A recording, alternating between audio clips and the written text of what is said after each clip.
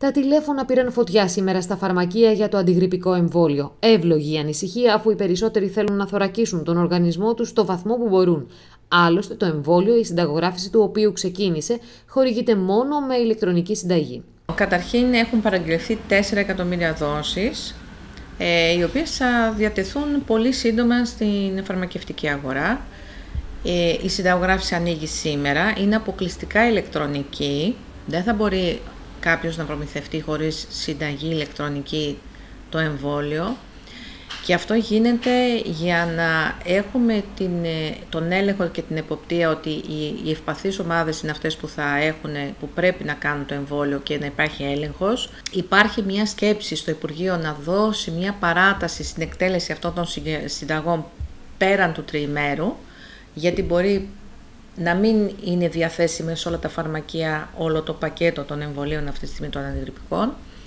Και σαφώς φέτος έχει ξεκινήσει πολύ νωρίτερα αυτή η διαδικασία. Γιατί, γιατί δεν θέλουμε να μας βρει ο συνδυασμός γρήπης και κορονοϊού. Η αρχή του εμβολιασμού θα γίνει με υγειονομικούς και άτομα που ανήκουν σε ευπαθείς ομάδες. Οι γιατροί εξηγούν ποιοι είναι αυτοί. Θυμίζω ότι οι ευπαθείς ομάδες είναι οι άνθρωποι που έχουν χρόνιες ασθένειες, οι ηλικιωμένοι άνω των 65 ετών και έγκυες γυναίκες. Βάσει των παραγγελιών που έχουν γίνει υπάρχει επάρκεια, ωστόσο η πορεία θα δείξει καθώς υπάρχουν αυξημένες ανάγκες. Οι φαρμακοποιοί προς το παρόν προσθέτουν άτομα στη λίστα τους και περιμένουν να τους αποσταλούν οι ποσότητες. Τα εμβόλια ακόμη δεν έχουν έρθει. Η... Μέχρι τώρα γνωρίζαμε ότι πριν το τέλος του μήνα θα είχαν φτάσει στα φαρμακεία μας. Από τις τελευταίες πληροφορίες που έχουμε, μάλλον θα έρθουν αυτές τις μέρες ή στο τέλος της εβδομάδας. Σήμερα όμως αρχίζει καθένας ο οποίος επιτρέπεται και ε, είναι μέσα στη, στη κατάσταση στις ευπαθείς ομάδες μπορεί να πάνε να το γράψει. Γράφοντας το εμβόλιο η συνταγή είναι σε αναμονή.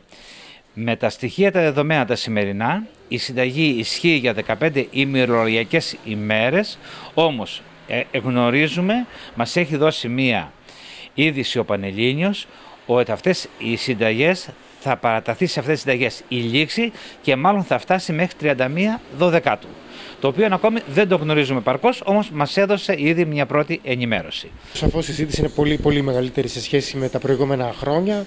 Έχουμε πάρει τα μέτρα μας, ξέρουμε ότι ο κόσμος ε, ανησυχεί και πρέπει να εμβολιαστεί. Όλοι ζητάνε πλέον το εμβόλιο, το αντιγρυπικό εμβόλιο. Θα έλεγα ο κόσμος είναι υποψιασμένος, ε, έχοντας υπόψη του και όλο αυτό που συμβαίνει με τον κορονοϊό πλέον. Θέλει να πάρει τα μέτρα του. Καλά κάνει. Το αντιγρυπικό εμβόλιο θωρακίζει τον οργανισμό σε σχέση πάντα με τον ιό της γρήπης. Ε, είναι άλλη μια έννοια που βγάζει από το μυαλό του γιατί πλέον έχει να σκεφτεί και κάποιο, κάποια άλλα πράγματα. Ε, δεν είναι μόνο ο κορονοϊός, είναι ο ιός της γρήπης, είναι κάποια άλλοι που γενικώς υπάρχουν κάθε χρόνο και υπάρχουν στη ζωή μας. Υπάρχει μια λίστα όπως θεωρώ ότι υπάρχει και σε, όλα τα φαρμα... σε όλα τα φαρμακεία. Ο κόσμος ε, ενδιαφέρεται, έρχεται, μας αφήνει το όνομά του.